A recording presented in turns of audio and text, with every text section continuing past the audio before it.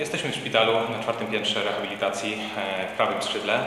E, Do wykonania jest tutaj 16 sal, do których zaproszono mnie jako współpracownika od strony artystycznej. E, Na każdej z sal wykonujemy bądź wiszące kwiaty, bądź ptaki, bądź ewentualnie jakąś gałąź drzewa. No, symbolika jest prosta, tak? Drzewa rozkwitają, kwiaty też, ptaki mają symbolizować jakby takie, takie wyjście ze stanu słabego, słabego zdrowia do pełnego, pełnego zdrowia, do wyjścia o własnych siłach ze szpitala. E, 16 sal, no praktycznie jesteśmy przy, przy finale. Mm, Działam tutaj w porozumieniu z, z PCM-em, z panem Markiem Kiliańskim i z panią Ulą Twardowską. Efekty będą widoczne niedługo.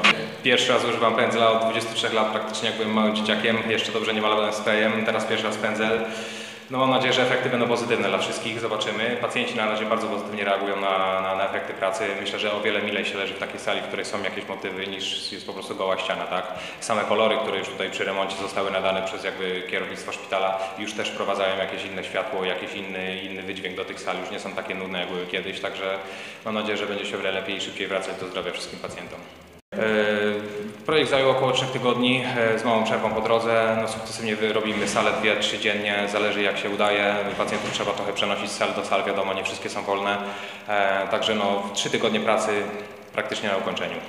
9 kolorów e, po 2,5 litra, 10 dokładnie, z pędzla. Reszta to są puszki, też około 12 kolorów, które jakby dopełniają te kolory farbą w sprayu.